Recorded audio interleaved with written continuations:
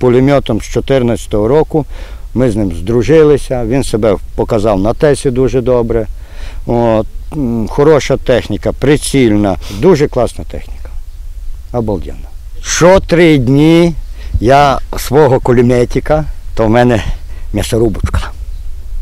Так і називаю, м'ясорубка.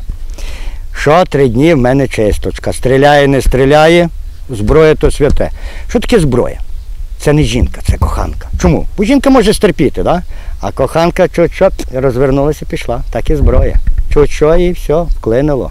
Використовуємо все. Зубочистки, ото вухо чистити, зубні щотки. Тобто дістається всюду, і звідки можливо. Бруд, то все зчищається, все. Ніхто не використовує, як там казали, пісок чи що, все культурно, тому і працює вона до сих пір, що за нею дивляться. Кока-колу це коли вже зброя ржава.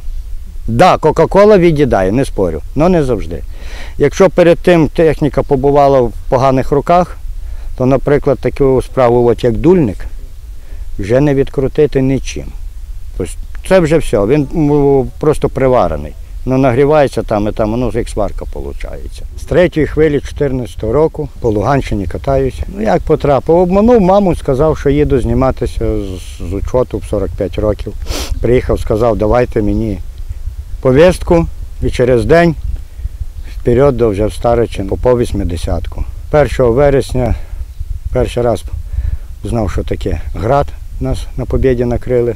Заїхали 30 серпня на Побєду.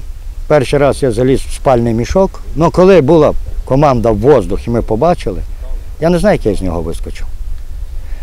До окопу було метрів 30, я навіть не пам'ятаю, як я в нього залетів. То сходу бачили, як побіду смерчами крили. І на восьму ранку вже об'явили, що 80-ку розгромили. Чому нас і мали накрити, а не накрили, бо дві машини заглохли, і ми колона лишилася в зеленці. А так мали бути на побіді і били там, де ми мали бути. Тобто, ну, в дійсності, тому і москаль був впевнений, що нас знищено.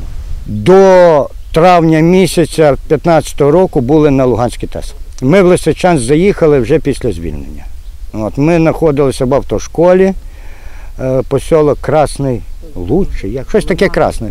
Я, я там не пам'ятаю, у них все червоне і все не запам'ятаєш. Були в Лисичанську вже після його звільнення. Тобто безпосередньо приймати мені не доводилось участі в якихось активних операціях, більше оборонні. Так до п'ятої хвилі був 80-ці, звільнився, побув трохи, зрозумів, що інакше не можу, вдома не сидиться.